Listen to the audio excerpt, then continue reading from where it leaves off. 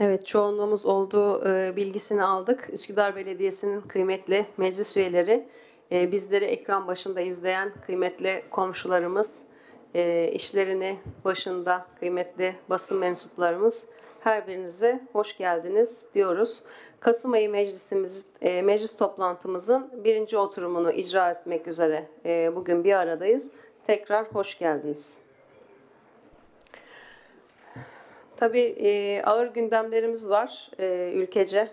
Sıkıntı yaşadığımız pek çok konumuz var ama onlara geçmeden önce 29 Ekim Cumhuriyet Bayramımızı bir kere daha sizlerin huzurunda kutlamak istiyorum. Yönetim şeklimizi Cumhuriyet olarak belirleyen iradeye başta e, Gazi Mustafa Kemal Atatürk olmak üzere bu uğurda savaşan, mücadele eden, e, bize bu günleri armağan eden e, atalarımızın tamamına, Atatürk başta olmak üzere tüm silah arkadaşlarına e, tekrar şükranlarımızı, minnetlerimizi ve saygılarımızı sunarak e, ve Cumhuriyeti koruyacağımıza verdiğimiz sözü bir kere daha burada sizlerin huzurunda tekrar ederek e, 101. yıl dönümümüz kutlu olsun.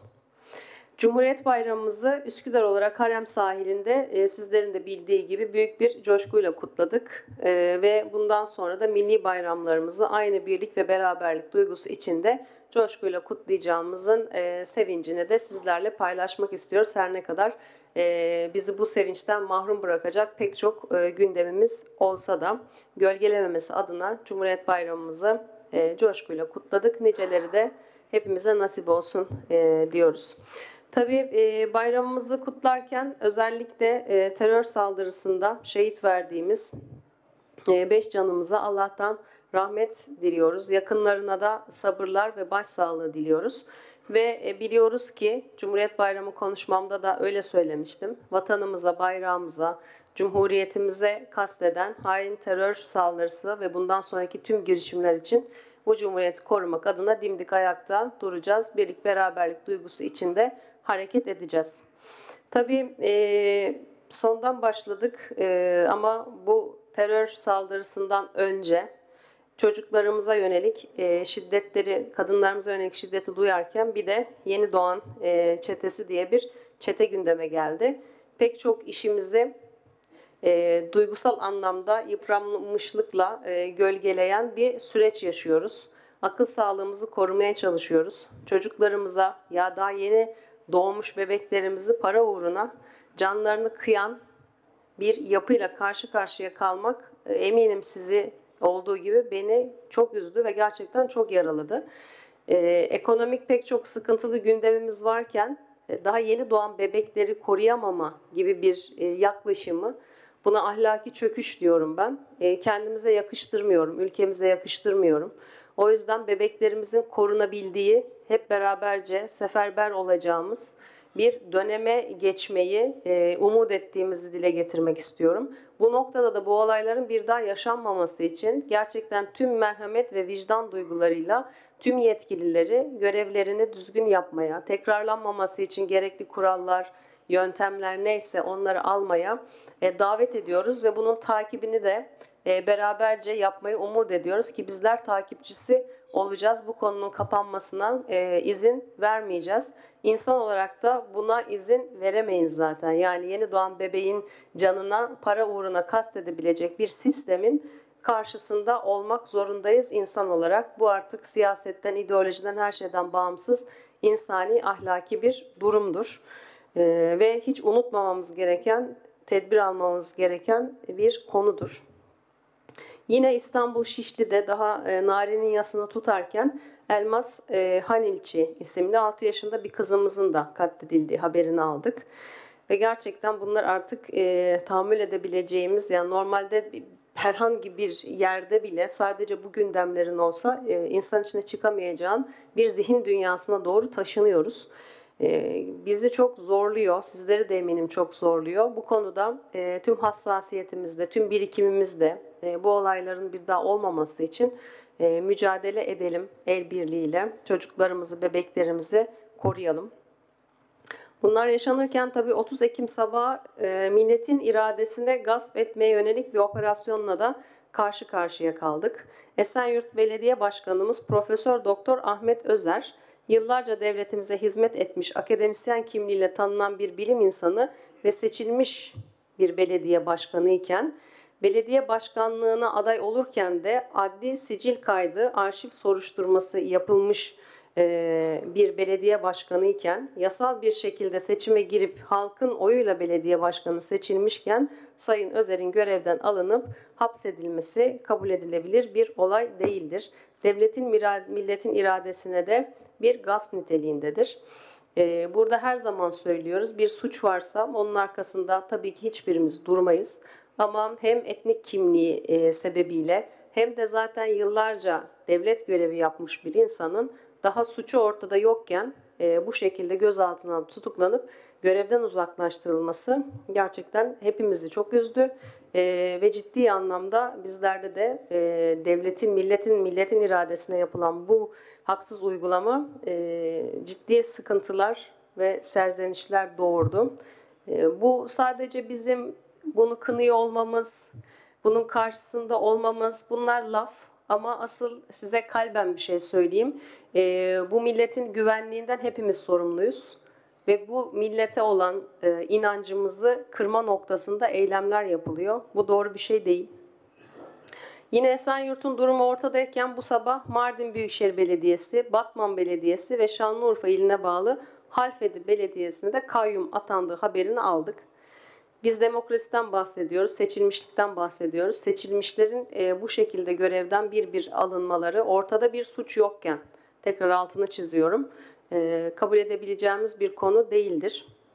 Bizim e, Türk-Kürt gündemlerimizde bu bayrağın altında her vatandaşın eşit olduğunu her zaman söylüyoruz.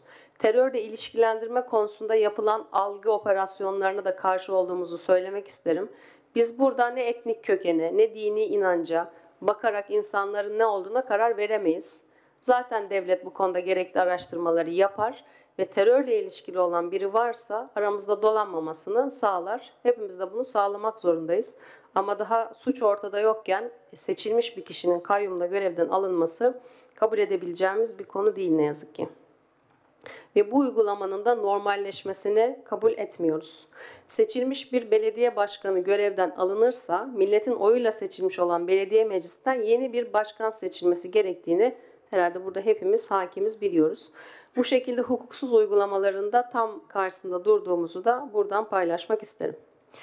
Tabii bütün bu gündemler varken ve biz hani demokrasiye inanmış, e, demokratik yönetimle e, buralara gelmiş insanlar olarak aslında sözün bittiği bir yere geliyoruz. Ee, bundan sonrasını e, konuşmak zor ve anlamsız olabiliyor. Çünkü irade ortaya koymuş halkımız, bizleri göreve getirmiş. Partiden bağımsız olarak söylüyorum. Herhangi bir herhangi parti yapılırsa yapılsın bu uygulama doğru bir uygulama değildir. Demokratik yollarla seçilmiş ve suçsuz insanların e, demokratik olmayan yollarla görevden alınması normalleştirebileceğimiz bir konu değil. Fakat tabii Kasım ayında biz Üsküdar gündemine, ülkemizin gündemi, gündemine de dönmek zorundayız. Seçilmiş insanlar olarak burada sorumluluklarımız var. Bu yıl e, 10 Kasım tabii ki Gazi Mustafa Kemal Atatürk'ün 86. ölüm yıl dönümü. Kasım ayına denk geliyor ve Büyük Atatürk'ü buradan sevgiyle, saygıyla ve özlemle andığımızı bir kere de altını çizerek bize bu demokratik cumhuriyeti hediye ettiği için onun da bu e, hediyesine en yüksek bilinçle sahip çıkmamız gerektiğini söylemek isterim.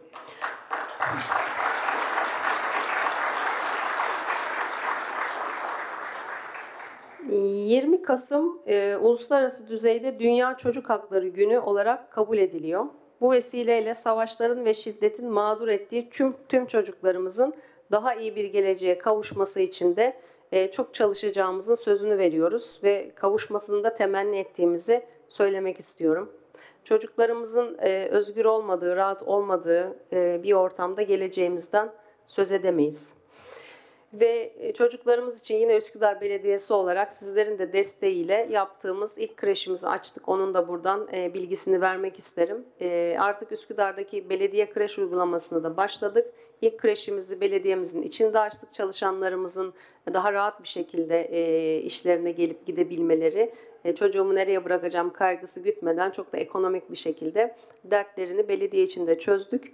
Diğer kreşlerimizin de mahalle özelinde e, icadiye başta olmak üzere temellerini attık. Ee, baş öğretmenimiz tabii 24 Kasım yine önemli günlerimizden bir tanesi Öğretmenler Günü. Burada da baş öğretmenimiz Atatürk başta olmak üzere tüm öğretmenlerimizin e, Öğretmenler Günü'nü şimdiden kutluyorum. Ellerine, emeklerine sağlık. Bizleri yetiştiren, bugüne kadar getiren her birimizin öğretmenlerinin e, ellerine, gönüllerine sağlık diyorum. Günlerini de kutluyorum. 25 Kasım'sa yine ülkemizin gündemini sıkça meşgul eden e, kadına yönelik şiddete karşı Uluslararası Mücadele Günü e, olarak kabul ediliyor. Bu vesileyle de kadınlara yönelik şiddet eylemlerinin de bir an önce sona ermesi için sadece çağrı yapmak değil, burada e, bilincimizi yükseltmek için belediye olarak farklı eğitimler e, düzenleyerek kadın erkek fark etmez burada bazen biz bile şiddet yaptığımızın farkına varmadan yani fiziksel olan şiddetten bahsetmiyorum ama karşımızdaki kadına karşı yaptığımız sözlü bazı komplimanların bile şiddete girdiğini bilmek hepimizi bu konuda daha duyarlı olma noktasında eğitmek gibi e, programlarımız var. E, zaten fiziksel şiddeti hepimizin ne olduğunu biliyoruz ama e, duygusal şiddetin ya da farklı şiddet türlerinin de çalışanlarımız arasında bilinmesi vatandaşla ilişkisinde mutlaka bunlara dikkat etmesi için de farklı çalışmalar yapıyoruz. Ee, geçtiğimiz ay e, bir görevim sebebiyle Strasbourg'da Avrupa Konseyi Yerel ve Bölgesel Yönetimler Kongresi'ne katıldım. 14-17 Ekim tarihleri arasında. Burada Türkiye Ulusal Heyeti olarak e, katılım gösterdik. E, heyetten İstanbul'dan iki belediye başkanımız var. Onlardan biri olduğum için bu toplantıya katıldık. Burada da özellikle insan hakları, demokrasi konusunda pek çok görüşme ve konuşma yapıldı Avrupa Meclisi'nde. Orada e, Türkiye heyeti olarak e, özellikle yine kayyumlar gündeme geldi ve e, heyette biliyorsunuz e, bütün partilerin temsilcileri var ve biz orada Türkiye'yi temsilen beraberce bir ses olarak e, bunların karşısında olduğumuzu duyurduk. Avrupa tarafından da zaten bu kayyum konusunda e, şöyle bir e, metin okundu bize. 2023 ee, seçimleriyle ilgili 24 seçimleriyle ilgili bir gözlem yapılmış. Onlar paylaşıldı. Ee, burada katıldıklarımız oldu, katılmadıklarımız oldu ama e, bu anlamda da faydalı e, temaslar gerçekleştirdik ülkemiz adına. 6 Şubat Kahramanmaraş depreminin acısı yüreğimizdeki yerini korurken yeni depremler yaşanması bizim için bir uyarı işlevi görüyor. Malum her depremde hepimiz e, ciddi anlamda İstanbul depremi aklımıza geliyor. Deprem olmadan da aklımıza geliyor. Hatta belediyemizin gündeminden, vatandaşımızın, komşumuzun gündeminden de hiç çıkmayan bir konu. Bununla ilgili de e, Üsküdar'da depremi hazırlık aşamasında 23 Ekim'de Bahçeli Evler ve Yavuz Türk Mahallesi'nde Üsküdar yenileniyor kentsel dönüşüm bilgilendirme ofislerinin açılışını yaptık. Bu ofisler şu açıdan önemli. E, komşularımız evlerinin dönüşümüyle ilgili artık doğru bilgileri e, çok hızlı bir şekilde genişletilmiş bir ekiple birlikte alabilecekler ve evlerinin kentsel dönüşüme girmesi, deprem dayanıklı hale getirilmesiyle ilgili hem hukuki hem teknik süreçlerin tamamını bilgilendirme ofislerinde hızlıca alıp burada e, tekliflerin de belir alınması hem Üsküdar Yenileniyor platformu hem de bu ofislerimizde doğru tekliflerin alınması ve oluşturulması noktasında da bilgilendirme yapılacak. Dolayısıyla artık e, kentsel dönüşüm ve deprem dayanıklı Üsküdar içinde e, attığımız adımlar gözle görülür bir hale geldi. E, dönüşüme en çok ihtiyaç duyan, tabii merkez mahallemizde e, belediyemiz de destek olacak şekilde dörde çıkacak bu ofislerimiz. Şu anda Bahçeli Evler ve Yavuz Türk Mahallesi kentsel dönüşüm ofisleri hizmete açıldı. Komşularımız buraya giderek bilgi alabilirler. Bu şu demek değil sadece Yavuz Türk mahallesindekiler gider diğerleri gidemez değil. Ee, diğer komşularımıza da kendi mahalleleriyle ilgili bilgiler buradan verilebilir. Ama e, bu iki yeri seçmemizin sebebi özellikle yoksulluğun e, yoğun olduğu ve kentsel dönüşme çok ihtiyacı olan iki mahalle olmasından kaynaklı. Ee, bununla birlikte geçtiğimiz ay İstanbul Büyükşehir Belediye Meclisi'nden Üsküdar'ı ilgilendiren 6 plan değişikliği kararı da geçti. Bunun için Başkanımız Sayın Ekrem İmamoğlu'na ve İBB Meclisi'nin kıymetli üyelerine de her biriniz adına sonsuz teşekkürlerimizi sunuyoruz.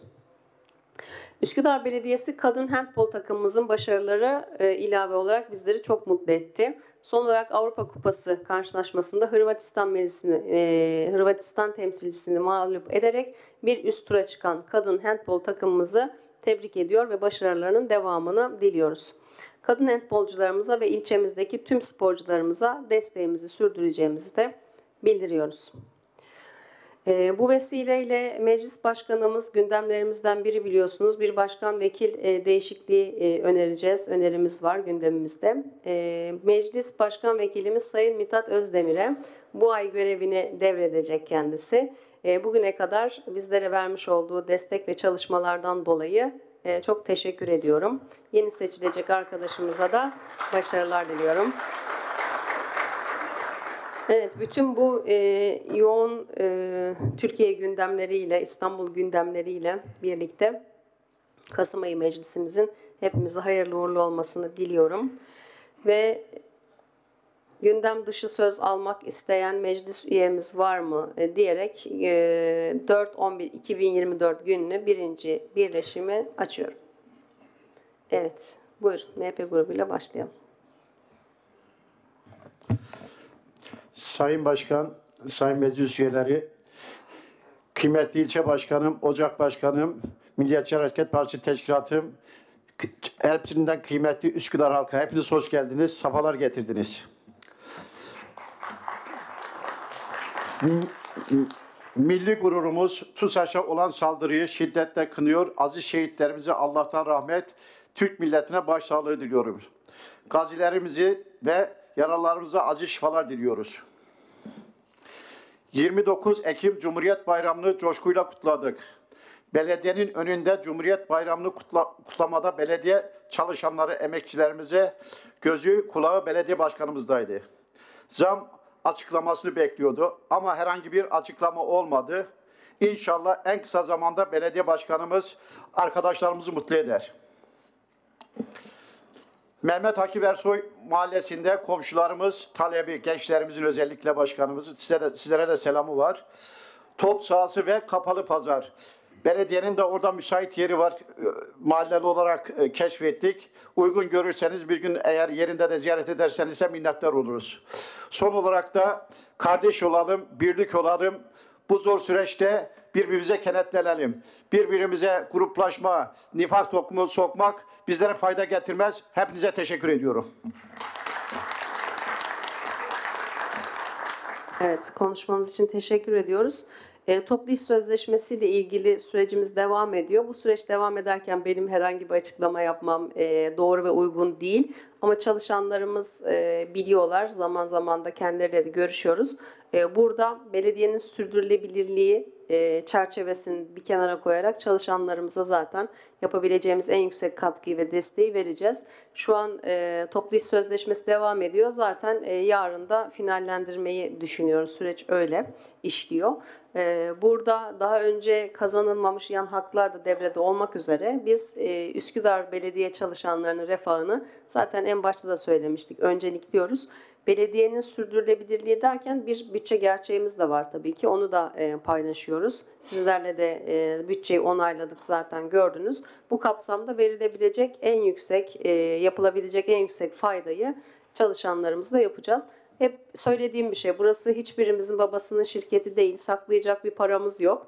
Ama yönetecek bir bütçemiz var. O yüzden doğru yönetmek çok önemli. Burada da her zaman önceliğimiz zaten çalışanlarımız. Onların refahı. Onlar olmazsa zaten belediye olmaz.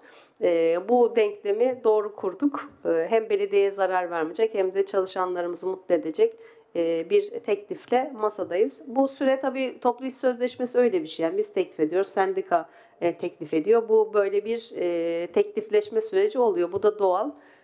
Buradan hani herhangi bir gerilim olmadığını da söylemek isterim. Sendikanın da istekleri var, bizim de yapabileceklerimiz var. En doğru noktada e, hareket edeceğiz. Yarın da Allah kısmet ederse sürecimizi zaten e, selamette bitirmiş, tamamlamış olacağız. Mehmet Akif Mahallesi ile ilgili tekliflerinizi de aldık. Mutlaka inceleyeceğiz. E, şu an Mehmet Akif'in bir ring talebi de var e, bizlerle ilgili. Bugün daha toplantısını yaptık. E, oraya mesela bir ring servisiyle de e, mahalleyi rahatlatacak adımı atacağız. E, bu açılışları da Aralık gibi yapmayı planlıyoruz. Diğerleri zaten gündemimizde mutlaka konuşarak, yerinde de hatta e, ziyaret ederek e, dikkate alırız mutlaka diyelim. Başka gündem dışı söz almak isteyen buyurun.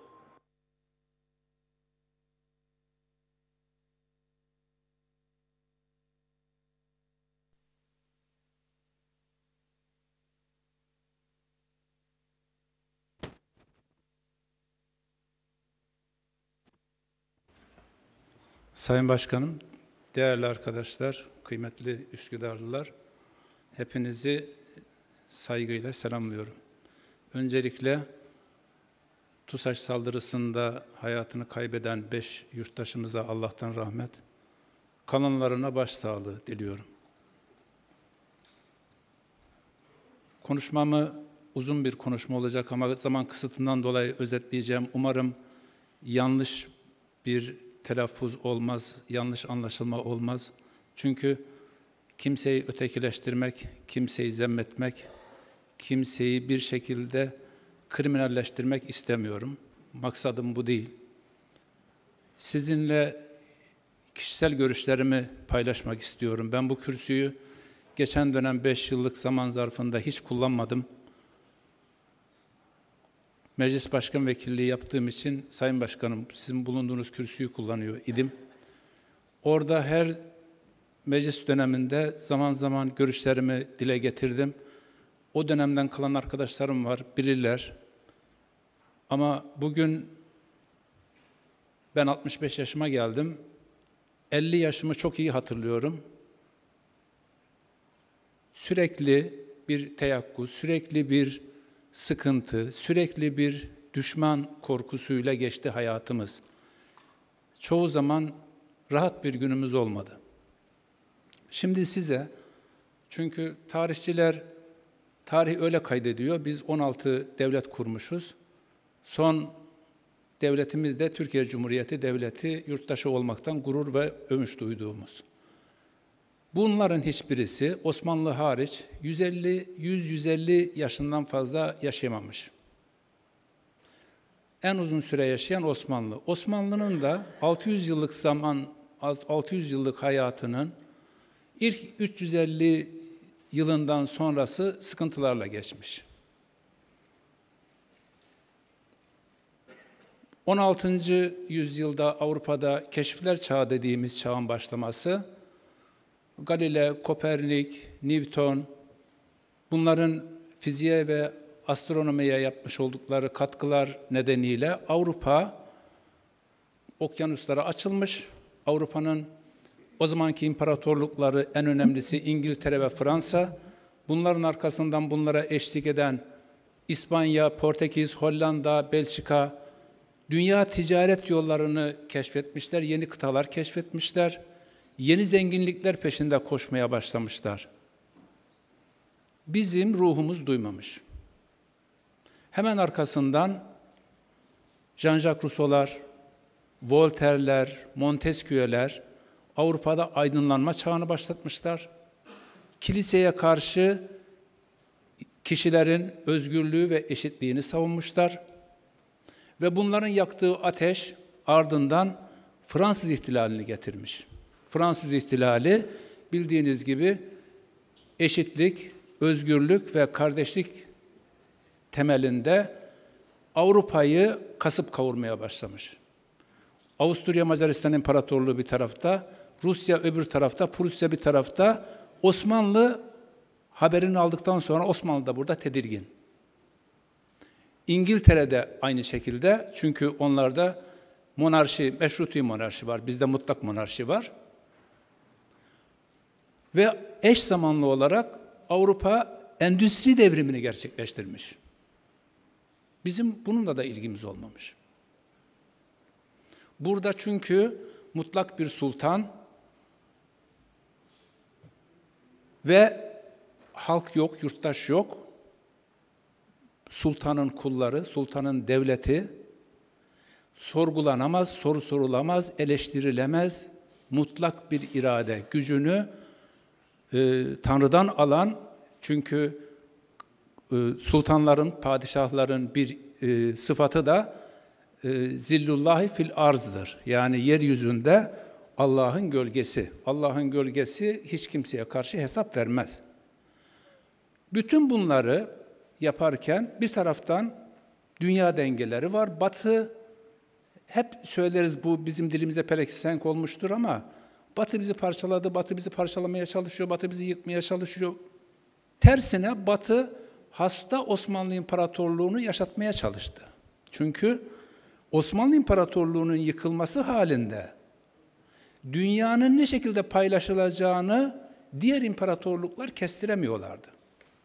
Bir yandan Fransa Mısır'a Mısır, saldırdığında Rusya ve İngiltere bizimle beraber Fransa'ya karşı çarpıştı. Bir taraftan bizim Kırım'daki mücadelemizde İngiltere ve Fransa Rusya'ya karşı bizim yanımızda savaştı. Buradan baktığımızda biz aklı ön plana hiçbir zaman Osmanlı Devleti'nde son 250 yıl söylüyorum, aklı ön plana koyamadığımız için bütün bu gelişmeleri ıskaladık. Hegel daha sonra buna diyor ki, tarih dışı kaldılar diyor. Bu kara imparatorlukları Osmanlı, Avusturya Macaristan, Rusya ve Prusya bunlar tarih dışı kaldı diyor. Çünkü diğerleri bütün dünyayı gördüler. Konjonktürden haberleri oldu. Biz bir tarafta şöyle yaptık. 18. E, yüzyıl sonundan itibaren 19. yüzyıl 1800'lü yıllardan itibaren hatta Karlofça Anlaşması'ndan itibaren Batı ile girmiş olduğumuz savaşların çok büyük bir kısmını kaybettik. Her kaybettiğimizde de büyük toprak parçaları kaybettik.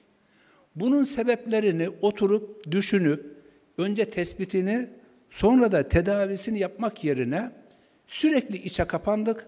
Sürekli e, dışarıya karşı, dışarıdan etkilenmelere karşı durmaya çalıştık. Fakat bu hasta adam sonuç itibariyle mukadderdir. Geldi ve öldü. Tanzimat fermanı, ıslahat fermanı, birinci meşrutiyet, ikinci meşrutiyet Osmanlı'nın daha uzun yaşamasını sağlayamadı. Bütün bu bütün bu müdahaleler de saydığım bu dört müdahalenin dördü de Batı kaynaklıdır. Batı'nın önderliğinde yapılmış olan müdahalelerdir. Osmanlı'yı hasta adamı biraz daha yaşatmak için yapılmış olan müdahaleler ancak ömrü bu kadarmış, ömrü vefa etmedi. Şimdi biz Dünya, Birinci Dünya Savaşı ile birlikte ve arkasından vermiş olduğumuz Kurtuluş Savaşı'nda bir önder Mustafa Kemal Atatürk çıktı. Ölmüş babasının yerine geçti. Dedesi deyin, babası deyin, her neyse. Yerine geçti ve Anadolu'yu, misak-ı milliyi de elimizde tutamadık ama Anadolu'yu elimizde tuttuk. Cumhuriyeti ilan ettik. Ne oldu Cumhuriyeti ilan ettik? Cumhuriyetin temel mottosu neydi? Egemenlik kayıtsız şartsız milletindir. Millet ilk defa denkleme girmiş oldu. Ee, teşekkür ediyorum. Ee, ve Mustafa Kemal arkadaşlarını da çoğu zaman ikna edemediği devrimleri gerçekleştirdi. Cumhuriyetin yanlışları yok muydu? Vardı. Sayabiliriz, konuşabiliriz ki konuşmamız da lazım zaten. Hem başarılı yönlerini hem başarısız yönlerini konuşabilmemiz lazım. Mesela Türk tarih tezi Cumhuriyetin, Cumhuriyetçilerin de çoğunun kabullenemediği, yani anlam veremediği bir şeydir. Ama devletin öyle bir şeyi oldu. Cumhur Türk tarih tezi diye Etiler, Hititler filan hani kafatası ölçümleri falan filan. Anlamsız bir şeydi. Mesela ezanın Türkçe okunması anlamsız bir şeydi. Yani sosyolojik bir karşılığı yok, toplumsal bir karşılığı yok, ekonomik bir karşılığı yok. Yok oğlu yok yani. Bizim onca derdimiz vardı. Bunlar mesela aklıma gelen şeyler olarak söylüyorum. Ama başarıları yok muydu? Vardı. Yokluk içerisinde Osmanlı'dan terk tevarüs ettiği Osmanlı'nın borçlarıydı. Duyun umumiye dediğimiz. Kazma kürekle bu topraklarda, Anadolu'da bir devlet inşa etmeye çalıştılar. Dediler ki işte biz e, medeni dünyaya, biz bu medeni dünyanın bir parçasıyız. Yokluk, kıtlık içerisindeyiz ama bizim görüşlerimiz var, bizim düşüncelerimiz var. Biz sizinle konuşabiliriz, siz de bizimle konuşun dediler ve bunu başardılar. Fakat bu genç cumhuriyet ara sıra kalp krizleri geçirmeye başladı. Yani ben sayarım 4-5 tane, siz dersiniz 4 tane müdahaleler oldu. Yani iyi has giderken işlerimiz gene kötüye gitmeye başladı. Şimdi geldiğimiz noktada özetliyorum kusura bakmayın, başkan kusura bakmayın. Ee, bu geldiğimiz noktada şimdi problemlerimiz var. Yok mu? Var bir sürü problem var. Yani kimisini Osmanlı'dan tevarüs etmişiz, kimisini Cumhuriyet'in başından, kuruluştan tevarüs etmişiz. Kimisi sonradan olmuş. Adına ister Kürt meselesi deyin, ister Güneydoğu meselesi sorunu deyin, ister Türk sorunu meselesi deyin. Adına her ne derseniz deyin.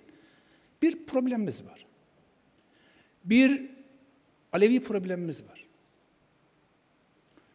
Bir kadın problemimiz var. Bir çocuk problemimiz var. Ekonomik problemimiz var. Çevre problemimiz var. Var oğlu var. Bir sürü problemimiz var. Biz bunları aynı geçmişte yaptığımız gibi akıl süzgecinden geçirip oturup karşılıklı konuşup ya bu dert nedir kardeşim deyip çözmeyi hiçbir zaman hiçbir zaman demeyeyim. Yani belki böyle çok az insanlar e, oldu. Yani entelektüel, aydın insanlar, bunların derdini çeken insanlar oldu ama devlet olarak biz bunların üstesinden gelecek bir aklı ortaya koyamadık.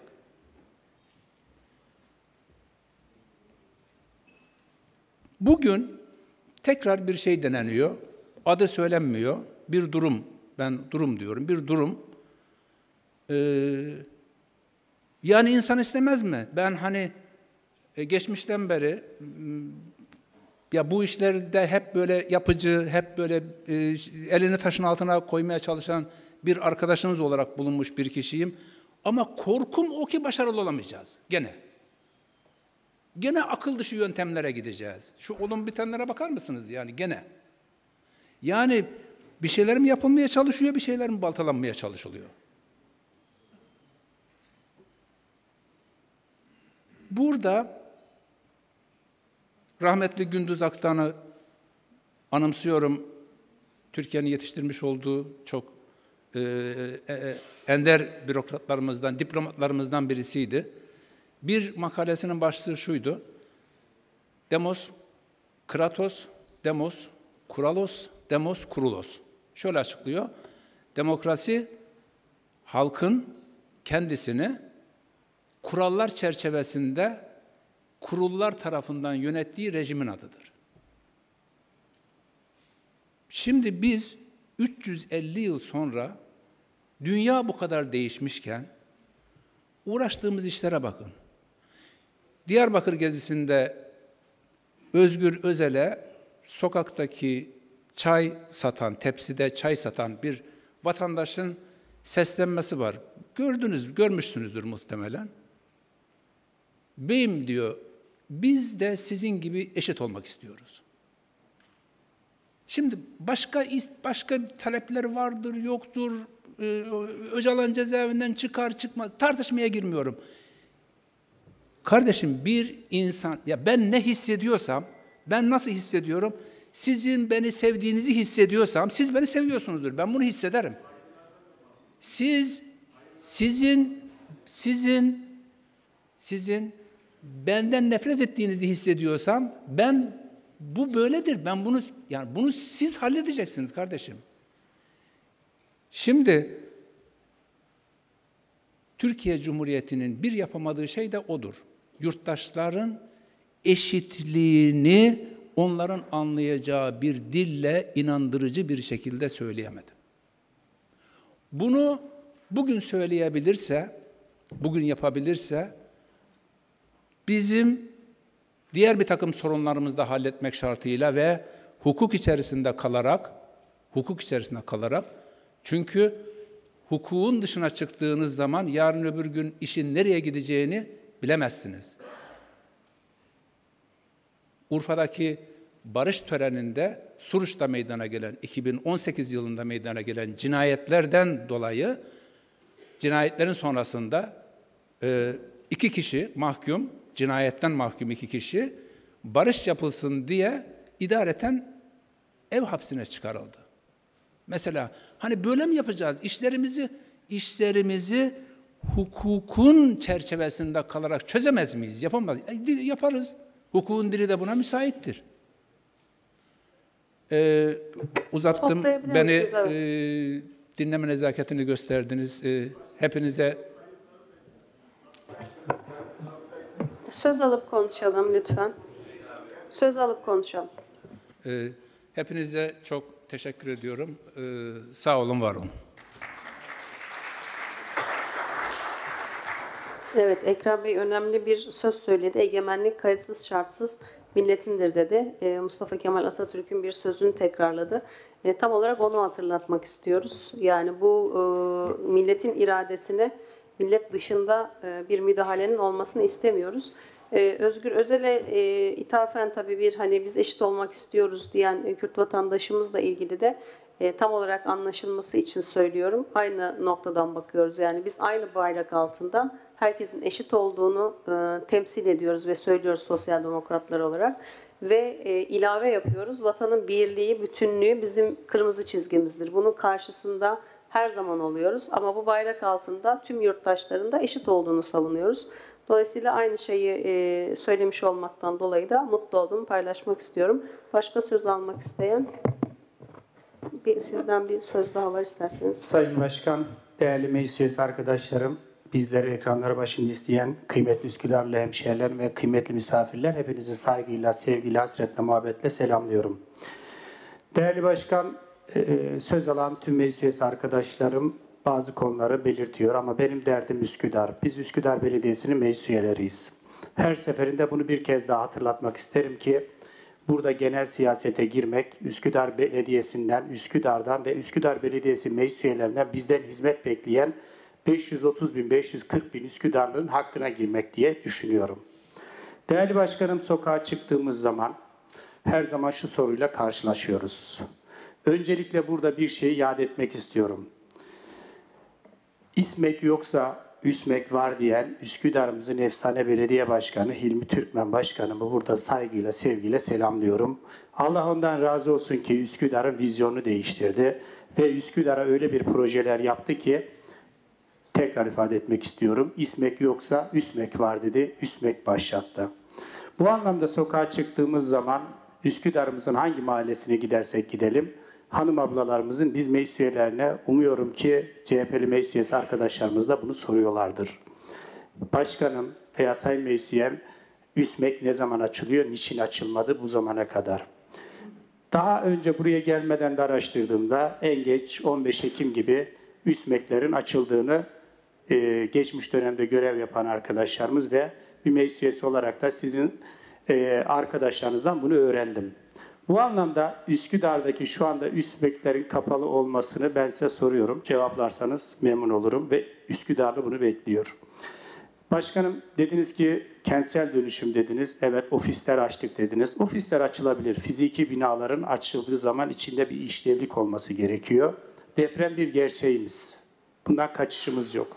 Üsküdar'da da ciddi bir risk var yani. Bu anlamda siz bir belediye başkanı olarak burada bize meclis üyelerimize hiçbir bilgilendirme yapmadınız. Yani bugün orada hangi metotla siz kentsel dönüşüm uygulayacaksınız? Yani bize şunu demediniz ki veya diye bilmiyorum yani orada vatandaşa ne diyorsunuz? Ya biz şu şartlarda vatandaşın evini dönüştürüyoruz veya da binasını dönüştürüyoruz. Toplu işte 1150 çada 20 parselin kentsel dönüşüm problemi var. Komple anlaştık. Bunları da bilmiyoruz başkanım.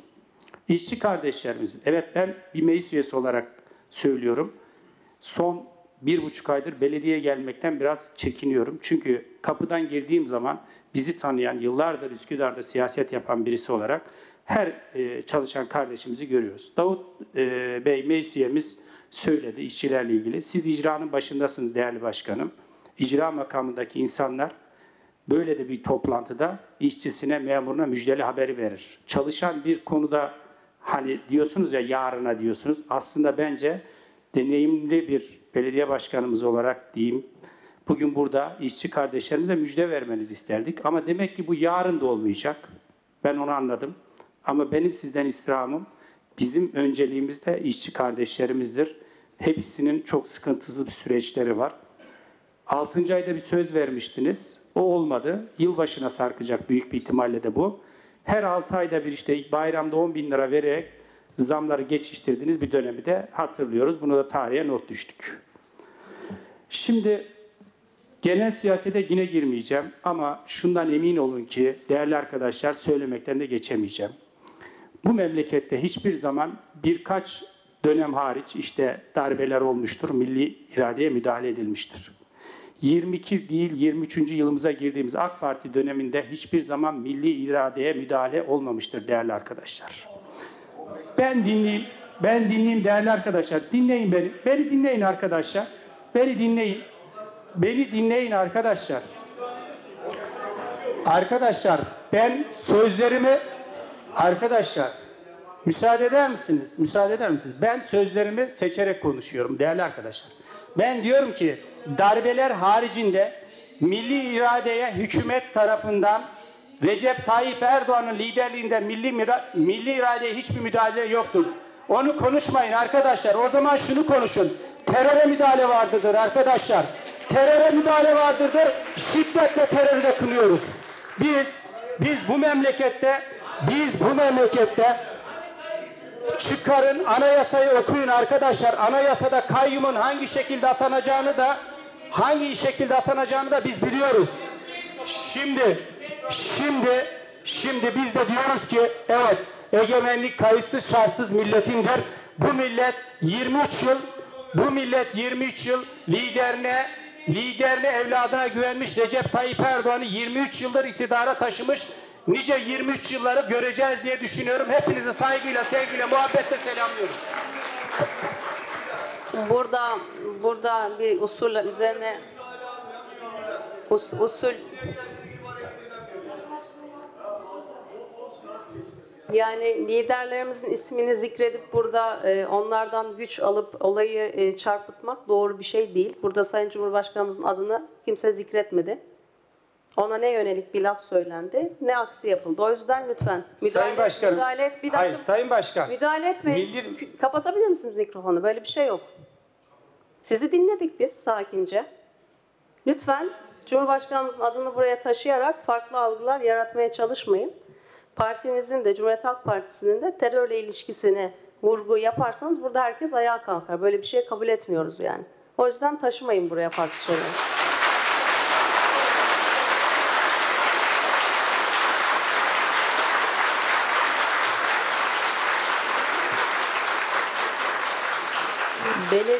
Belediyeye gelmekten çekinmenize gerek yok. Belediye hepimizin belediyesi. Çalışanlarımızın da bu noktada bir tansiyonu yok. Kendileriyle zaten süreci konuşuyoruz.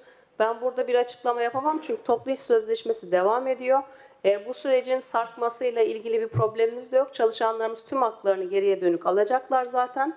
Dolayısıyla burada olmayan şeyleri de gündem etmenin bir alemi yok. Üsküdar Belediyesi hepimizin buradaki huzuru hep birlikte sağlamak zorundayız. Ne grev var ne başka bir konu var. Tüm süreçler e, kendi olması gereken sürecinde yürüyor. Görüşmediğimiz bir durum yok, konuşmadığımız bir durum yok, haber vermediğimiz bir durum yok. Burada e, benim bu böyle bir müjdeyi şurada vermem yasal olarak uygun değil çünkü süreç devam ediyor. İkincisi kentsel dönüşüm metodumuzu bilmediğimizle ilgili bir şey söylediniz. Bu Üsküdar'ı ilgilendiren bir konu. Kentsel dönüşüm metodumuz belli, yöntemlerimiz de belli. Bunu sık sık mahalle toplantılarımızda anlatıyoruz. Burada bir tane metot yok. Burada Üsküdar'ın tüm mahallesinde farklı farklı süreçler ilerliyor. Tek yapı bazında, ada dönüşümleri, site dönüşümleri bunların hepsi bizim gündemimizde. Komşularımızdan gelen isteklere göre de doğru yönlendirmelerle ve doğru zemini kurarak yani o müteahhitle, bu proje bürosuyla olursa işin olur, bunlarla bunları defalarca konuştuk. Bunları ortadan kaldırdık, süreçleri herkes adına eşitledik. Bir platform kurduk kolay başvuru yapılması için ve e, müjdeyse o zaman şimdi müjdeyi söyleyebiliriz. Bu yıl içinde çok yakın bir zamanda zaten dönüşümlere başlıyoruz. Metotlar da tek bir metot yok. Tek yapı ölçeğindeyse oranlar değişiyor, ada bazıysa oranlar değişiyor. Dolayısıyla metodumuzu bilmiyoruz diye bir şey de söz konusu değil. Çünkü proje bazlı metot uygulanması lazım. Burada oranlar vesaire zaten Büyükşehir'in açıkladığı oranlar var. Yaptığımız sözleşmeli yani Kiptaş'la ve Büyükşehir'le imzaladığımız protokollerde o oranlar da belli. Yani vatandaşa hibeyi ne ölçüde vereceğimiz, hangi şartlarda vereceğimiz hepsi sitelerimizde de açıklandı. Yaptığımız lansmanda da açıklandı. E, Dolayısıyla böyle bir e, metodun belli olmaması gibi bir durumumuz yok. E, İSMEK yoksa üsmek var diyen başkanımızın yaptığı hizmetlerden dolayı zaten her fırsatta emeği geçen herkese bu sadece başkanımızla ilgili değil. Belediyenin içine girdiğimizde şunu gördük ki Üsküdar Belediyesi'nin yaptığım dediği şeylerin çoğunun arkasında zaten hükümetimiz var.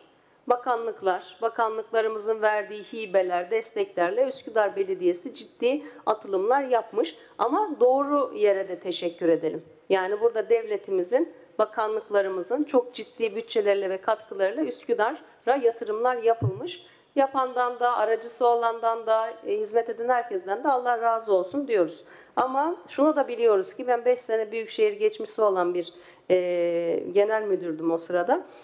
E, şunu da biliyoruz ki e, burada Üsküdar'da Büyükşehir'in e, yapmak istediği konularda yer verilmediği, ortam açılmadığı, işte İSMEK açılacaksa bina gösterilmediği de süreçler oluşmuş. Oturup bunları burada tartışacak değiliz ama lütfen tarafı olmayan yerlerde yanlış bilgilendirme yapmayalım. O zaman bize de söz hakkı doğuyor ve gerçekleri konuşmak zorunda kalırız. Buralara girmiyoruz. Belediye çalışanlarımızın biz buraya geldiğinde yaşadığı haksızlıkları, hukuksuzlukları bize serzenişle anlattığı şeyleri ben buraya hiç taşımadım. 7 ay geçti. Burada sorumlusu olanlar da var. Taşımadım. Geçti, kapattık. Biz onları çalışanlarımızla dertleşip konuşup gereğini yaparak düzenliyoruz. Ama buraya bunlar size şikayet olarak ya da fırsat bulduk diye saldırı olarak gelmedi yani. Siz de lütfen e, konuları çarpıtarak anlatmayın. E, üsmeklerle ilgili açılış bilgisi istedim. E, net bir bilgi sizle paylaşayım diye. E, eğitim ücretlerini halk eğitim artık biz karşılamayacak, belediye karşılayacak dediği için protokol e, yenilenmesi gerçekleşmiş. Yani daha evvelde halk eğitim tarafından biliyorsunuz öğretmenlerimizi alıyorduk üsmeklere. Şu an halk eğitim başka bir yöntemle biz artık bunların ücretlerini karşılamayacağız. Belediye karşılasın dedi ve o yüzden yeni bir protokol yapmak zorunda kaldık. Halk eğitimi yeni taslağı bize iletti, biz değerlendirdik, protokolü valiliğe gönderdik ve burada onay bekliyoruz. O yüzden onay gelene kadar üsmekler şimdilik bekliyor. O onay gelince eğitimleri alıp tekrardan kaldığı yerden devam edeceğiz. Olayın da arka planı bu şekilde ilerlemiş. Biz hem kampanyada hem yönettiğimiz dönemde şunu açıkça söyledik. Var olan hizmetleri zaten koruyacağız ve iyileştireceğiz. Burada saklanacak bir şey yok. Saklayabileceğimiz bir konu da yok. Bugün yapmadığımız bir hizmet yarın bize zaten e, bizim yönetimimize bir eksi olarak geleceği için tutup da bunları bile isteye geciktirme gibi bir e, kusura bakmayın densizliğe, akılsızlığa girecek halimiz de yok. Ama bakın olayın arkasında halk eğitim tavır değiştirmiş. E, öyle, şeyi biz karşılamıyoruz ücreti. Yeni protokol yapalım. Tamam yapalım. Bazı şeyler bu sebepten beklemiş. Budur. Buyurun. Ben başkanım cevabı alamadım. Hangi cevabı? Üsmek'le ilgili. Şimdi bizde bir atasözü vardır. Söz diyor bilenin, kılıç kuşananın diyor. Üsmeklerin 15 Ekim'de açılacağını bilen bir belediye başkanı olarak acaba son dakikaya bırakıp da e, milli eğitimin size vereceği öğretmenlerle ilgili, maaşlarla ilgili bunlar önceden tedbir almanız gerekmiyor muydu? Siz icra makamındasınız. Sizi bu söz bağlamıyor. Önceden tedbir alındı, görüşmeler Alındıysa yapıldı. 15 Ekim'de Üsküdar'lı sizden Üsmeklerin açılmasını bekliyordu. Teşekkür ediyorum. Önceden görüşmeler yapıldı. Halk eğitim bize aynı şekilde devam edeceğini söyledi. Sonra bir e, kararla bu, bu yani kendi içlerinde yürüttükleri bir süreçle bu karar değişti. Şu an onay okuduğum gibi valilikte. Dolayısıyla bizim süreci beklettiğimiz bir şey söz konusu değil. Valinin onayı gelmeden biz hareket edemeyiz. Yani bilmiyorum sizin e, icradan anladığınız ne ama ben e, biraz önce Sayın e, Bekir Bey, Ekrem Bey'in söylediği gibi Hukuka inanan bir insanım. Süreçleri doğru işletmekten yanayım. Onay gerektiren prosedürlerde valiliğe iletmişiz. Onayını bekliyoruz. Onay gelmeden hareket edemeyiz ne yazık ki. Buyurun Güneş Bey. Sizin sözünüz var mıydı? Bir çok kısa e, maddeyle ilgili az önceki söylenenle ilgili kısa cevap vereyim. Ondan sonra tabii benim de yine haricen bir gündem dışı konuşmam olacak. Ya bir öncelikle şu şeyde samimi olmak gerektiğini düşünüyorum. Biz Üsküdar'dayız. Üsküdar'ın konuların konuşalım deniyor. Öyle bir girizgah yapılıyor. Sonra genel siyasete geçiliyor. Sonra biz cevap verince arkadaşlarımız gerek oturduğu yerden gerek biz kürsüden ne yazık ki bu bir rahatsızlık uyandırıyor. Ee, yani sözümüzle e, yaptığımız icraat aynı olmalı gerekiyor diye düşünüyorum. Aynı olması gerekiyor diye düşünüyorum. Şimdi kentsel dönüşümle başlandı tabii. Kentsel dönüşümle ilgili siz gerekli açıklamayı yaptınız ama biz burada mecliste kentsel dönüşümle alakalı pek çok e, karar aldık. En son hatta Üsküdar yenileniyorla ilgili burada bir protokolü de meclisten yanılmıyorsam oy birliğiyle geçirdik. Dolayısıyla tüm bu süreçleri e, şeffaf bir şekilde yürüten e, Üsküdar Belediyesi'nin yeni yönetiminin e, bu ölçüde değerlendirilmesini ve söylemlerinde bunun üzerinden kurgulanması gerektiğini düşünüyorum. Bir diğer konu e, malum toplu iş sözleşmesi görüşmelerimiz devam ediyor. Şunu e, net bir şekilde söyleyebilirim. Bizim daha görüşmelerimiz devam ediyor. Yani daha masadayız. Tamamlanmış bir konu yok. Ancak bizim şu anki geldiğimiz aşama dahi AK Parti'nin İstanbul'da yönetimde olduğu tüm belediyelerden arşın arşın ileride. AK Parti, bu- bunlar da bize geliyor. AK Parti'nin şu anda belediyelerin ulaştığı azami miktar %25 iken geliyorsunuz burada bizim e, işçilerimize sağlamaya çalıştığımız olanakları sorguluyorsunuz. Geçmiş yönetim dönemlerinize bir dönün bakın. O toplu iş sözleşmesi görüşmeleri nasıl yapılmış? İnsanlar, işçiler muhatap alınmış mı? İşçi temsilcileri muhatap alınmış mı? Yoksa kapalı kapılar ardında yapılıp insanların önüne mi sunulmuş? İnsanlar bugüne kadar insanlar bugüne kadar ne tepkiler vermiş? Bunları bir dönün bakın. Ondan sonra lütfen ondan sonra lütfen bunları tekraren görüşelim. Bir de ilave olarak yandan e, Sayın Yağmur da ifade ediyor. E, malum asgari ücret e, dönemine yaklaşıyoruz. Kulağımıza bazı rakamlar geliyor. Bence oturun o gündeme gelen asgari ücret oranlarını değerlendirin. Son olarak da başkanım size bir ekleme yapayım. üsmek'le ilgili o sürecin de yani protokol süreçlerinin içinde de yer aldığım için biz evet yani üsmeklerin açılmasıyla ilgili bir duyuruyu da yapmıştık. Ancak sonradan ne hikmetse yani İstanbul'da Ekrem Başkanımızın görevi devam ettirmesi, keza İstanbul'daki belediye sayımızı arttırmış olmamız dolayısıyla olacak ki e, bir anda kaymakamlıktan bize bir yazı geldi. Mevcut protokolü değiştirmek üzerine. Yani yeni bir protokol yapılırken biz artık bunları karşılamıyoruz değil. Ya bizim protokolümüz devam ediyor ama ya kusura bakmayın artık biz bu tutarları ödeyemeyeceğiz denildi. İstanbul'un genelinde tüm belediyelerimize giden bir yazı. E, Burada vize saat ücretleri var. Artık bunların karşılanmayacağı ifade edildi ve protokolün tadili istendi. Yine bu sırada e, valiliğin çıkardığı bir imza yönergesiyle tüm bu sözleşmelerin bugüne kadar sadece kaymakamlık makamının onayıyla imzalanan tüm bu sözleşmelerin bir de üzerine ilave valilik onayına gerek e, duyduğu ifade edildi. Ve ne yazık ki şu anda onay süreçleri devam ediyor. Bu nedenle de e, bu çalışmalar şu anda henüz e, başlayamamış durumda. Yani belediyeye laf söylemeden önce dönüp bir de akamete uğratanı e, gözlemek lazım diye düşünüyorum. Teşekkür ediyorum.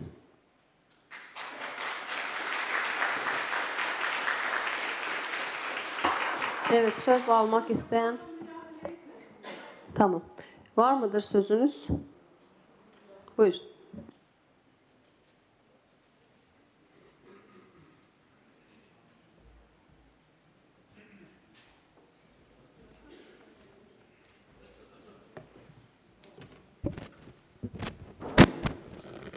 Sayın Başkan, kıymetli meclis üyesi arkadaşlarım, Kasım ayı meclisinde grubumuz adına söz almış bulunmaktayım. Bu vesileyle hepinizi saygı, sevgi ve muhabbetle selamlıyorum. Türk Havacılık ve Uzay Sanayi Anonim Şirketi Kahraman Kazan tesislerine yapılan menfur saldırıda can, veren, şehitlerimize Allah'tan rahmet, yaralılarımıza acil şifalar diliyorum. Bugüne kadar olduğu gibi bugünden sonra da terörle ve terör örgütleriyle güçlü ve kararlı mücadelemiz devam edecektir. Kıymetli arkadaşlar, milletimizin talebi, isteği ve tercihiyle AK Parti olarak 3 Kasım 2002'de iktidara geldik. Milletimiz ülkemizin her köşesine hizmet istedi, bizler de yaptık. Çünkü her şey Türkiye içindi. Milletimiz içindi. Milletimiz ile el ele, gönül gönüle vererek 22 yıldır olduğu gibi büyük ve güçlü Türkiye yolunda Türkiye yüzyılını hep birlikte inşa edeceğiz. Ses. Yeşil yanıyor burada. Milletimizle el ele gönül gönüle vererek 22 yıldır olduğu gibi büyük ve güçlü Türkiye yolunda Türkiye yüzyılını hep birlikte inşa edeceğiz. Bu kutlu yürüyüşe destek veren tüm vatandaşlarımıza minnettarız. Durmak yok, yola devam diyoruz. Kıymetli arkadaşlar, vefatının vefatının 86. yıl dönümünde aziz milletimizin ve tüm dünyanın takdirine mahzar olmuş bir lider olan Gazi Mustafa Kemal Atatürk'ü anlamalı, yaşanan zorlukları ve verilen eşsiz mücadeleyi unutmadan birlik ve beraberlik içinde istikbal yolunda yakılan meşaleyi yeni nesillere emanet etmeliyiz. Bu vesileyle Cumhuriyetimizin banisi Gazi Mustafa Kemal Atatürk ve silah arkadaşlarını, vatanımız uğruna fedakarca şehit ve gazi olan tüm kahramanlarımızı rahmetle, minnetle yad ediyoruz. Bu ay içerisinde Dünya Çocuk Hakları Günü'nü icra edeceğiz ancak ne yazık ki tüm dünyada binlerce masum çocuk öldürülüyor. 7 Ekim 2023 tarihinden bugüne İsrail'in bombaladığı Filistin'de en temel hak olan yaşama hakkı elinden alınmış binlerce çocuk yaşamını yitirdi. İsrail yönetimi Filistinlileri kendi yurtlarından göçe zorladı. Ölümden kaçmak için son bir umutla sığındıkları hastaneleri, okulları, kampları, ibadethaneleri, kiliseleri acımasızca bombaladı. Elini vicdanına koyan herkesin kabul edeceği üzere bu yaşananların hiçbiri kendini savunma hakkıyla açıklanamaz. Burada açıkça savaş suçu ve insanlığa karşı suç işlenmektedir. Bunları yapanlar insanlığın vicdanıyla birlikte uluslararası hukuk önünde de muhakkak hesap vermelidir. Biz de buradan bir kez daha söylüyoruz. Nehirden denize özgür Filistin. Kıymetli arkadaşlar, 24 Kasım Öğretmenler Günü'nü tüm öğretmenlerimize, ülkemize ve milletimize hayırlı olmasını diliyoruz. Vatanına ve milletine hayırlı nesiller yetiştirmek uğruna canlarını feda eden öğretmenlerimizin aziz hatıralarına sahip çıkmayı görev addediyoruz. Rabbim şehitlerimizin mekanlarını cennet makamlarını âli eylesin. Meclis toplantımızın hayırlara vesile olması temennisiyle hepinizi selamlıyorum.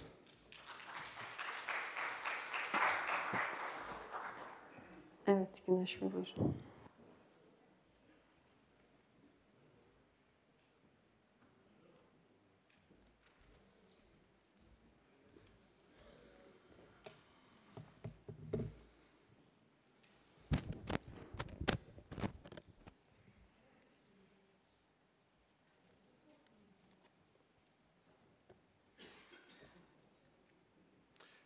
Sayın Başkan, değerli meclis üyeleri, değerli ilçe başkanımız, kıymetli konuklar, ekranları başında bizleri takip eden Üsküdarlı komşularımız, Cumhuriyet Halk Partisi grubu adına sizleri saygı ve sevgiyle selamlıyorum.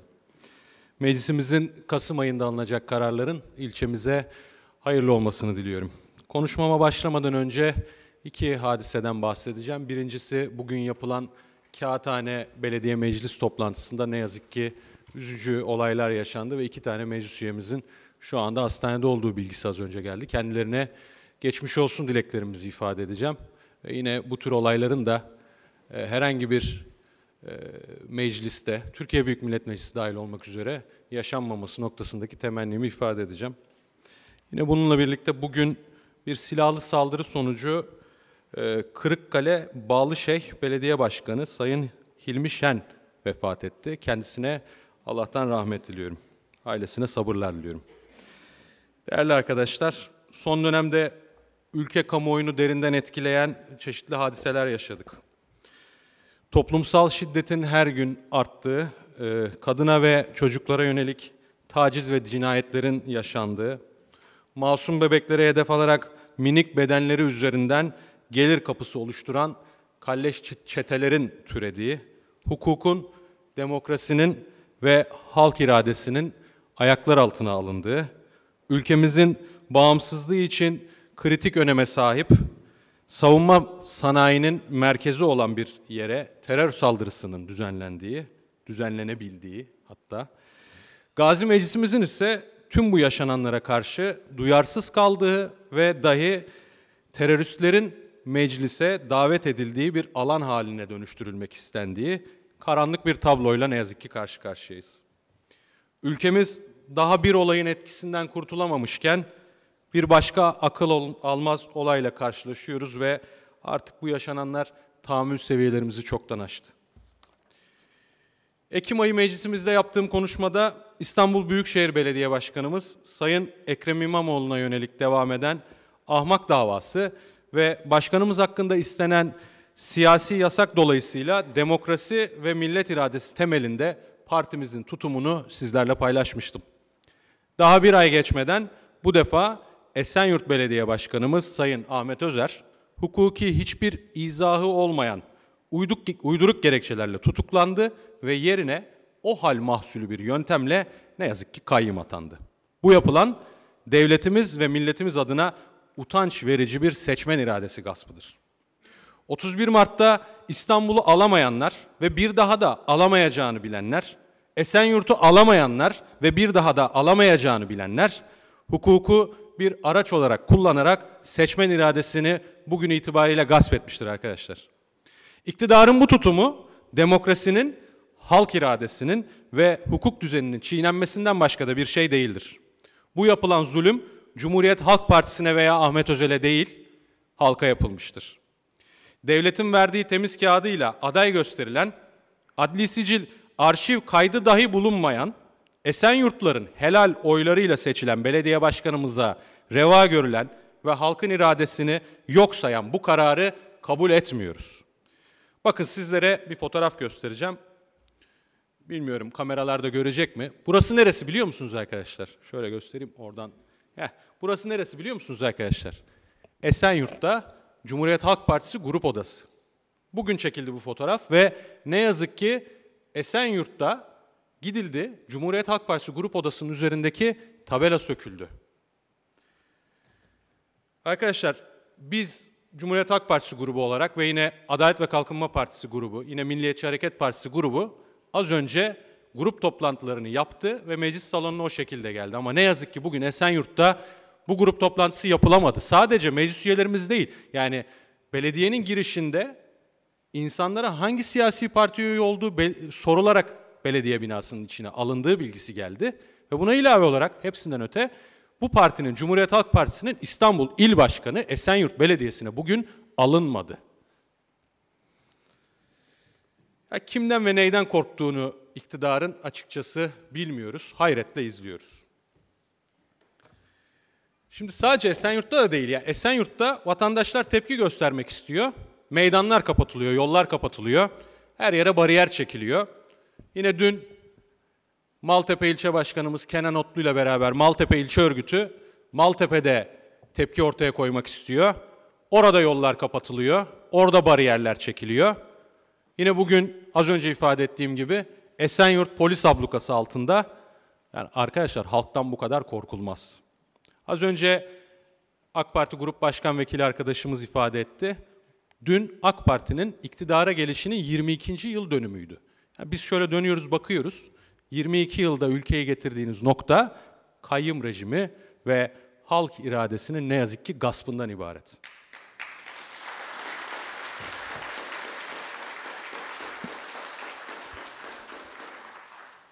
Bakın bu sabah Esenyurt'u geçiyorum. Birazdan tekrar oraya döneceğim. Bakın bu sabah Mardin, Batman ve Halfeti belediyelerine de kayyım atandı. Az önce AK Parti meclis üyemiz nereye atandı, nerede ne oluyor, nerede biz darbe yaptık diyordu ya. 2019 öncesi ve sonrasında bu ülkede yüzlerce belediyeye kayyım atandı arkadaşlar. Yani halkın iradesi yok sayıldı.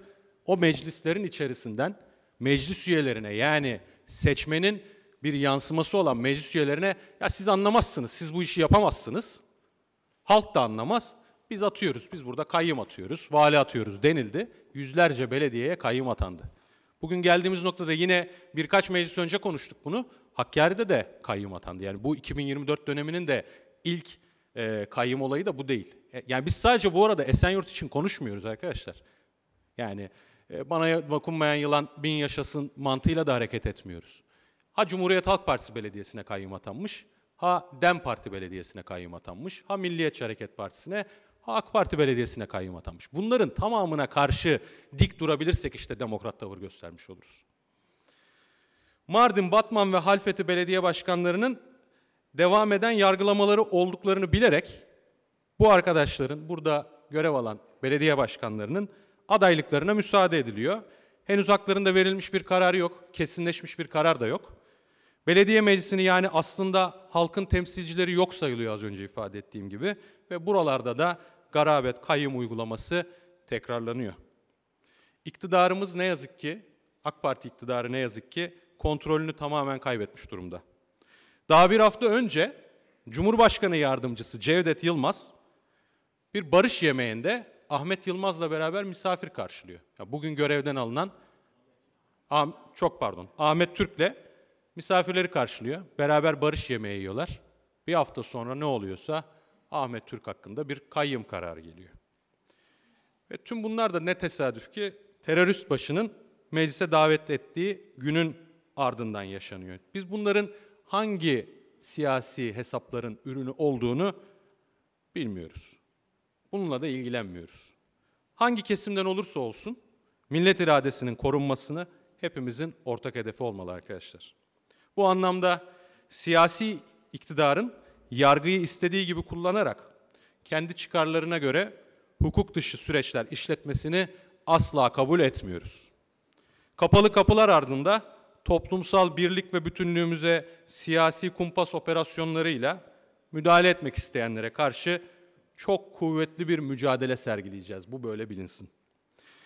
Genel Başkanımız Sayın Özgür Özel'in ifade ettiği gibi bir santim eğilmeyeceğiz, bir adım geri atmayacağız. Ahlaksız, hukuksuz ve gayrimeşru baskılara karşı boyun eğmeyeceğiz. Cumhuriyet Halk Partisi Türkiye'nin birinci partisidir. 31 Mart 2024 yerel seçimlerinde halkın büyük desteğini kazanarak iş başına gelen Cumhuriyet Halk Partisi belediyeleri demokratik yollardan yönetime gelmiş ve yetkisini yalnızca milletten almıştır. Ancak bugün Esenyurt'ta halkın sandıktan çıkan iradesini yok sayarak bir siyasi operasyonla halk iradesi gasp edilmekte, halkımızın seçme ve seçilme hakkı ayaklar altına alınmaktadır. Belediye Başkanımız Sayın Ahmet Özer hakkında hiçbir hukuki gerekçe olmamasına rağmen bunu özellikle belirteyim. Şafak operasyonuyla kendisi odasındayken eşi kapıyı açıyor. Kapıya gelmesine dahi müsaade etmiyorlar. Odasına gidip yattığı yerden belediye başkanımızı alıyorlar. Şafak operasyonuyla kendisine operasyon yapılması, daha mahkeme karar vermeden iktidar medyasında nasıl bir kararın çıkacağının açıklanmış olması, daha atanmadan kayyım isminin haberlere konu olması, bu kumpasın FETÖ tipi yöntemlerle iş yapma alışkanlığının devamı olduğunu bizlere gösteriyor. Terörist başının meclise getirilmesi yönünde çağrı yapan iktidar ve iktidar ortağı eski ortaklarından kalma alışkanlıkla Türkiye'nin en büyük ilçesinin yani Esenyurt'un seçilmiş belediye başkanını siyasi bir kararla hapse atma pervasızlığını göstermiş durumda. Sayın Ahmet Özer'in soruşturma ve tutuklama sürecinin adil yargılanmayı, savunma hakkını ve tutuklama gerekçelerini düzenleyen birçok mevzuat kuralını uyulmaksızın gerçekleşmiş olması da bir başka utanç verici durum olarak, bir hukukçu olarak bir başka utanç verici durum olarak görüyorum ve e, bu ne yazık ki e, siyasi iktidarın yüzünde bundan sonraki yıllarda kara bir leke olarak duracak.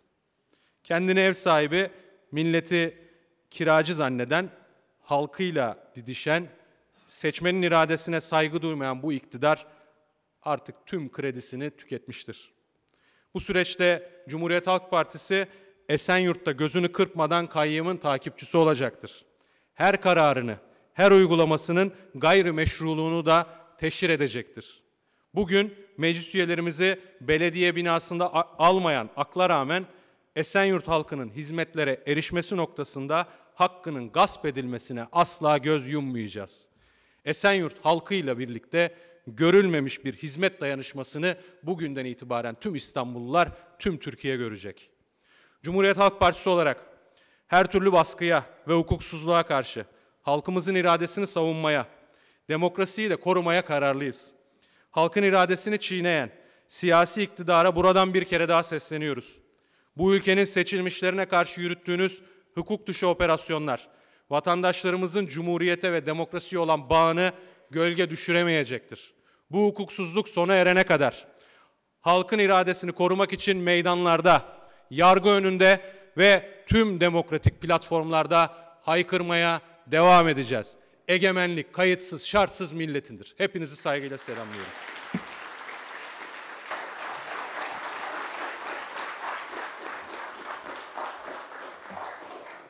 Evet, e, gündeme geçmeden önce sözlü ve ya yazılı Söz, söz önerisi istemiştim olan başkanım ama. kapattık sözleri artık Başkanım yeter. sözleri Bence çok fazla Bir- gündem Yok, dışı konuştuk. e, Sayın Grup Başkanı Vekilimiz konuştu. Onunla ilgili Siz de konuştunuz. sataşma, sataşma yok. Siz de konuştunuz. Tamam da başkanım bazı şeyler söyledi. Onlara bir cevap vermeyelim mi? Bir, yani gündem dışı konuşmaları artık kapatalım Sayın bence. Başkanım konuşulanlara cevap vermeyelim mi?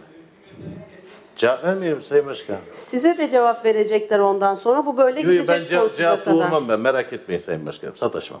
Yani bu sonrasında Ben oraya da sataş- söz vermem sataşmam gerekecek. Sayın Başkanım. Sataşmam. Hiç sıkıntı Yok sataşmamızla ilgili bir şey değil yani. Artık gündeme geçmemiz Ee, lazım. tamam Gündem dışı haklısınız konuşmalar başkanım. çok oldu. Kısa bir söz verirseniz ondan sonra geçelim gündeme. Tekrar sözü e, Cumhuriyet Halk Partisi'ne de vermem gerekecek. E, Size verdikten gerekiyorsa sonra. verirsiniz başkanım yani. Yani böyle gidecek yani. Efendim? Yani gündem, Başkanım bu gündem kadar. dışı... Şimdi başkanım bu konuşmadan sonra Buyur, bu buyurun konuşmadan- söz vereceğiz ama sonrasında tekrar cevap hakkı doğacak yani. Son söz diye bir şey yok. Ama bu cevap hakkı doğuyor ya. Yani öyle bir dengemiz yok bizim Tamam. orada bitsin burada bitsin diye. Buyurun siz konuşun. Sayın Başkanım, Konuşmak tamam, çok kısa. e, bir iki saat daha gündem dışı konuşuruz. Buyurun. Yok Sayın Başkan, çok kısa birkaç kelime. Şimdi Güneş Bey e, hukukçu bir meclis üyesi arkadaşımız. Şimdi Ahmet Özer'le ilgili bilmiyorum dosyasına ne kadar hakim, ne kadar konuştu ama Sayın Ahmet Özer'in bir kere tutuklanmasının sebebi PKK, KCK silahlı terör örgütü üyesi olmak suçundan tutuklandı. Özer'in Özer'in Özer'in şimdi değerli arkadaşlar şöyle Ya bu bu bu bu bu cevap doğurur onu söyleyeyim. Yani bu uzar. şimdi şimdi değerli arkadaşlar hukuk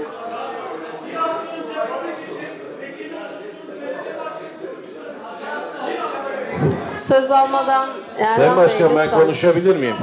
Erhan Bey lütfen lütfen. Ben konuş.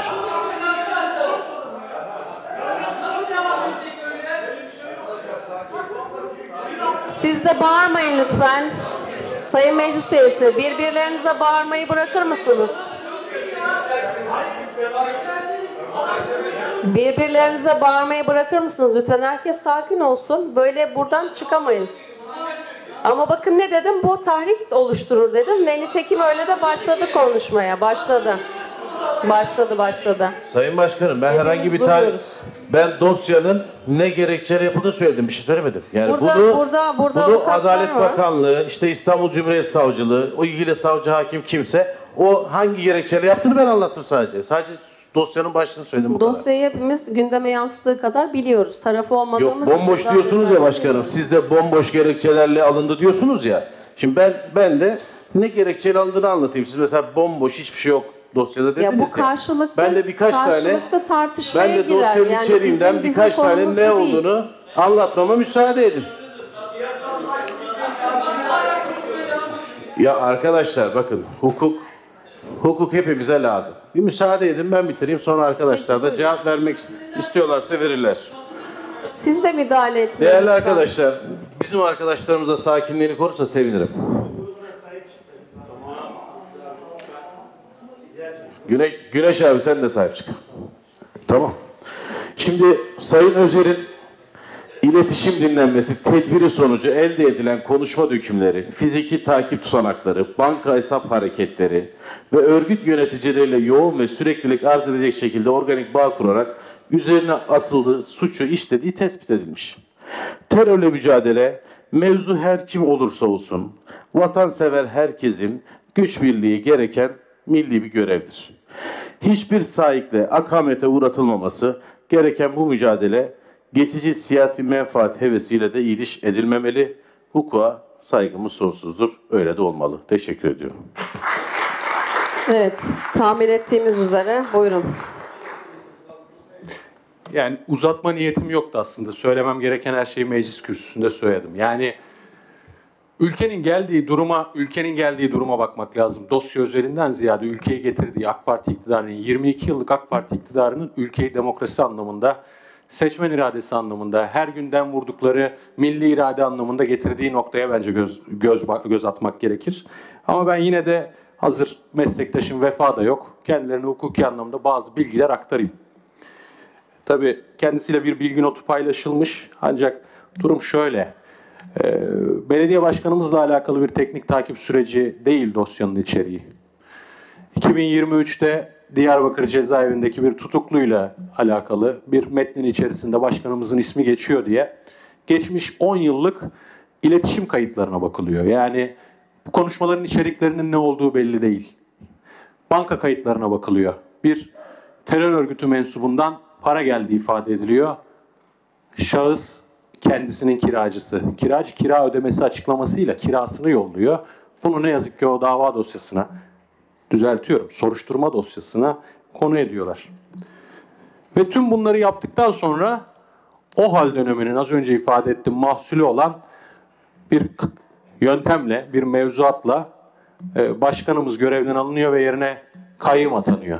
Bu yapılan uygulamanın ne ölçüde doğru, ne ölçüde yanlış olduğunu geçmiş dönemlerde Adalet ve Kalkınma Partisi'nin şu anda genel başkanında olan Recep Tayyip Erdoğan'ın görevden aldığı dönemde yapılan uygulamayla bir karşılaştırmalarını ve tarihe bir geri dönüp bakmalarını öneriyorum.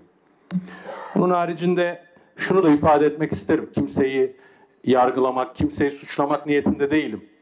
Ama bu ülkede hem siyasi iktidar hem de pek çok çevrenin geçmişe dönük 10 yıllık telefon kayıtlarına eğer yani sadece bir telefondan bir telefona arama gittiğine bakıldığı noktada şöyle söyleyeyim birçok milletvekili, birçok belediye başkanı, Kayır ekseriyeti diyeyim hatta görevden alınacaktır FETÖ irtibatı dolayısıyla. PKK irtibatı dolayısıyla. Bu ülkede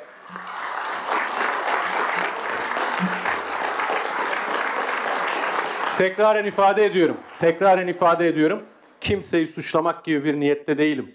Ancak bugün yapılan uygulamanın tam olarak neye isabet ettiğini yıllardır üniversitelerde rektör yardımcılığı yapan 31 Mart'ta gidip adaylık başvurusu yaptığında adli sicil arşiv kaydı dahi bulunmadığı için adaylığında engel bulunmadığı söylenen ve aday olan Esenyurt halkının %50'sinin oyuyla ki Türkiye'nin en büyük ilçesi %50'sinin oyuyla gelmiş bir kişi hakkında ortaya iddia atarken bir dönelim kendimize, geçmişimize de bir bakalım. Teşekkür ediyorum.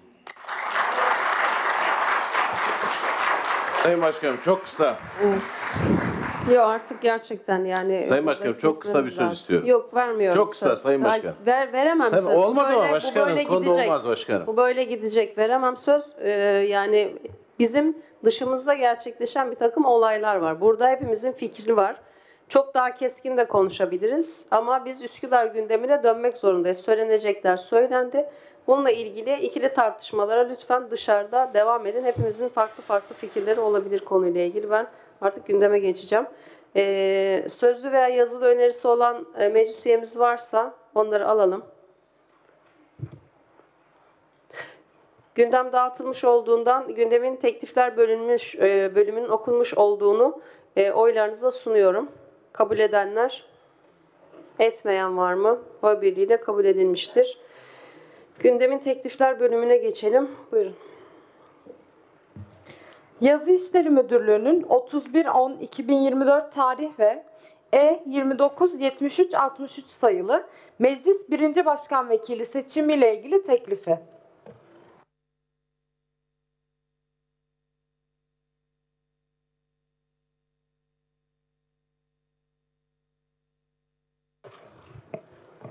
Belediye Meclis Başkanlığı'na. Belediye Meclisimizin Meclis 1. Başkan Vekilliğine kalan süreyi tamamlamak üzere Meclis üyemiz Saadettin Karaca'yı teklif ediyoruz. Gereğini saygılarımızla arz ederiz. Teklif edenler Dündar Ziya Gültekin, Davut Uyguntürk. Belediye Meclis Başkanlığı'na. Belediye Meclisimizin Meclis 1. Başkan Vekilliğine kalan süreyi tamamlamak üzere meclis üyemiz Ali Aralı teklif ediyoruz. Gereğini saygılarımızı arz ederiz. Teklif edenler Güneş Gülaydın, Aysel Can Ekşi. Evet, değerli meclis üyeleri seçim gizli oylama şeklinde yapılacaktır. Ee, buyurun, oylamamız başladı.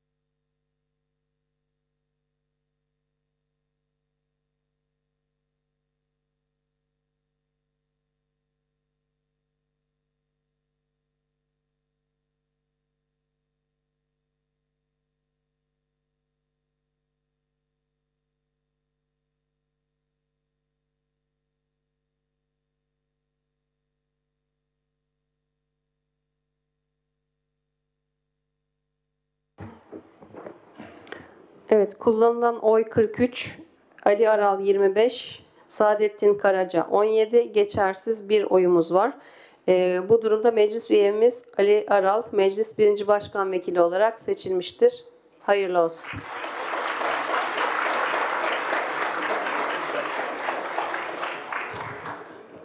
Şey mi? Buyurun. Yazı İşleri Müdürlüğü'nün 31.10.2024 tarih ve E 297566 sayılı ihtisas komisyonlarına üye seçimiyle ilgili teklifi.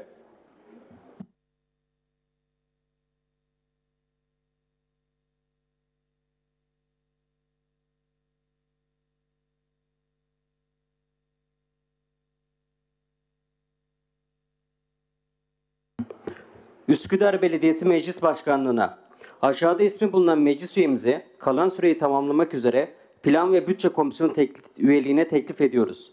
Gereğini saygılarımızla arz ederiz. Plan ve Bütçe Komisyonu üyesi adayları 1. Aziz Yağmur. Teklif edenler Güneş Gülaydın, Aysel Can Ekşi. Teklifi ayrı ayrı e, okuyup oylayacağımız için e, oylarınıza sunuyorum. Kabul edenler, etmeyen var mı? Oy birliğiyle kabul edilmiştir. Aziz Bey hayırlı olsun.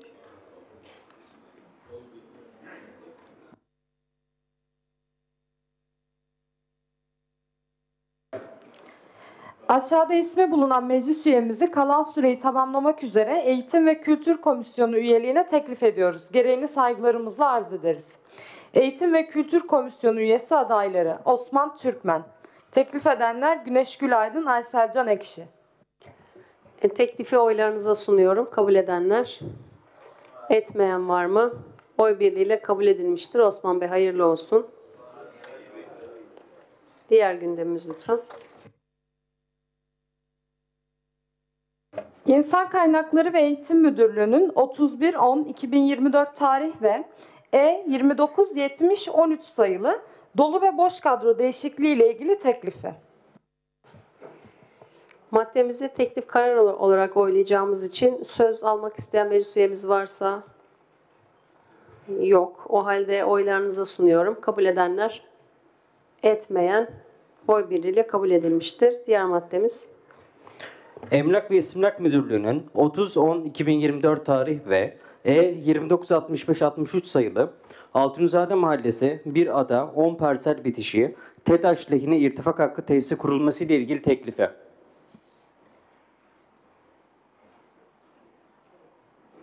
Evet, bu maddemizi hukuk ve mülkiye ile imar komisyonlarına havalesi için oylarınıza sunuyorum. Kabul edenler, etmeyen var mı? Oy birliğiyle kabul edilmiştir. Diğer gündemimiz. Emlak ve İstimlak Müdürlüğü'nün 30.10.2024 tarih ve E 2965-72 sayılı Altunizade Mahallesi 11. ada 22. parsel bitişi TEDAŞ lehine irtifak hakkı tesisi kurulması ile ilgili teklifi. Bu maddeyi de hukuk ve mülkiye ile imar komisyonlarının havalesi için oylarınıza sunuyoruz. Kabul edenler, etmeyen oy birliğiyle kabul. Diğer maddemiz lütfen. Plan ve Proje Müdürlüğü'nün 30.10.2024 tarih ve E 2965-82 sayılı Üsküdar il- ilçesi Burhaniye Mahallesi 789 ada muhtelif parseller, 725 ada 101 parselin bir kısmı ve Kısıklı Mahallesi 798 ada muhtelif parseller ile bir kısım kadastral boşluğu içeren 1 bölü 1000 ölçekli koruma amaçlı uygulama imar planı değişikliği ile ilgili teklifi. E, Bu maddeyi komisyona havale edeceğiz ama öncesinde bizi izleyen e, komşularımızı bilgilendirmek maksatlı. Çünkü komisyona gittiği için e, bilgi paylaşımında bazen e, anlaşılmıyor maddenin ne olduğu. Kısa bir bilgi vereyim. E, buradaki plan e, 1 bölü 1000 planda İSKİ'ye ait olan e, 24 adet parsel yani 22.677 metrekarelik bir alan belediye hizmet alanı, günübirlik tesis alanı, konut alanı, park alanı, genel otopark ve yol alanı olarak aslında Üsküdar'a kazandırılmış oldu orada atıl duran e, İSKİ'nin alanı. Gerekli çalışmalar yapılarak e, bu maddenin de imar komisyonuna havalesi için oylarınıza sunuyoruz. Kabul edenler, etmeyen var mıdır? Oy birliğiyle komisyon havalesi sağlanmıştır. Gündemdeki diğer konuları görüşmek üzere 7 Kasım 2024 Perşembe günü saat 16'da toplanmak üzere oturumu kapatıyorum. Hayırlı olsun Üsküdar'ımıza.